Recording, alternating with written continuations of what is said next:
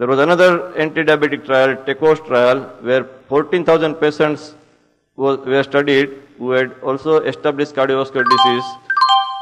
Sitagliptin was compared with placebo or standard care. 100 mg per day was given and 50 mg per day if GFR was less than 50. Primary endpoint was composite of death, non-fatal MI, non-fatal stroke or hospitalization for unstable angina. What was the outcome?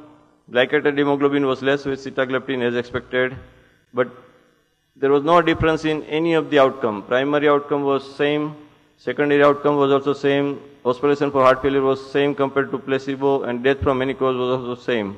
So at least it was not better than placebo or standard care, but it was not inferior also. It did not harm, there was no increase in any cardiovascular event. So it was a safe molecule.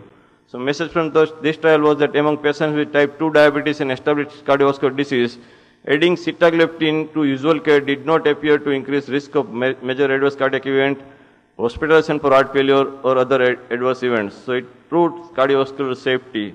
And this is important because two other trials of gliptin family.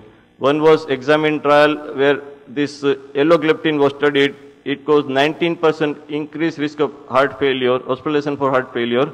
And in SAVOR TIMI-53 trial, saxagliptin actually caused 27% risk, increased risk of uh, hospitalization for heart failure. In that way, sitagliptin was safe. It did not cause any increase in uh, heart failure incidence uh, when we use for diabetic patients. So it was a safe gliptin compared to others.